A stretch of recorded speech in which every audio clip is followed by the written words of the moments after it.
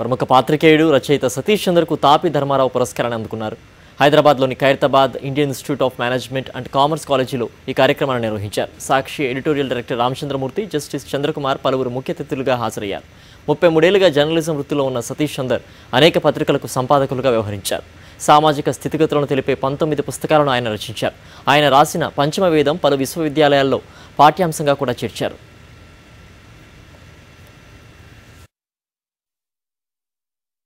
తెలుగు పత్రికా రంగంకు సంబంధించినంత వరకు ఎప్పుడు ఎవరు తెలుగు పత్రికా రంగ చరిత్ర రాసినా ప్రస్తావించినా కూడా తాపీ ధర్మారావుని విస్మరించలేరు. అలాంటి తాపీ ధర్మారావు పురస్ పురస్కారం నాకు ఇచ్చినందుకు నేను నిజంగా కృతజ్ఞతుణ్ణి.